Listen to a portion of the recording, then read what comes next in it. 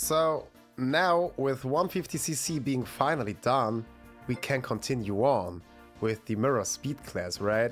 But one more thing about 150, so as you can see, I wasn't able to get at least one single star from the Star and Triforce Cup, unfortunately. So yeah, I'll need to redo them at some point to get like the special reward that you can obtain by getting at least one star from every single cup out of every single speed class. But you better don't worry about that. That's the thing between Mii and the game. So now let's continue on with Mirror. And let's pick the me character, right? Let's pick this one.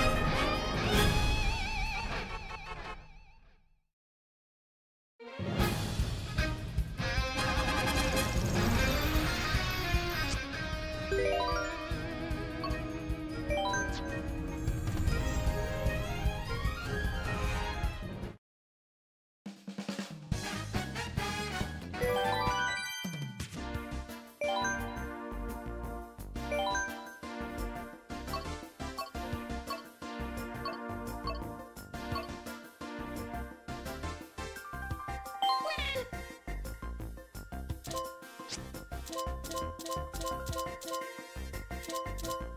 you.